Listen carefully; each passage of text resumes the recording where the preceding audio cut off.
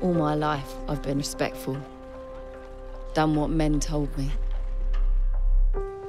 If it's right for men to fight for their freedom, then it's right for women to fight for theirs.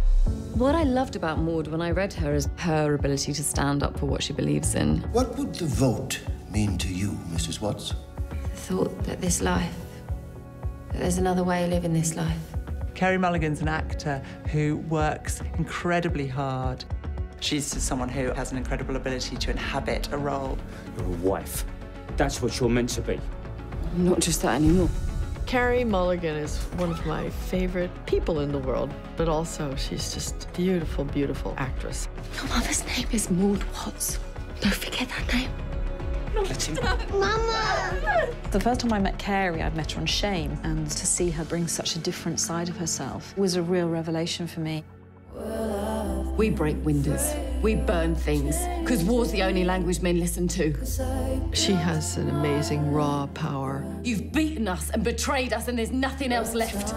She doesn't have to even open her mouth.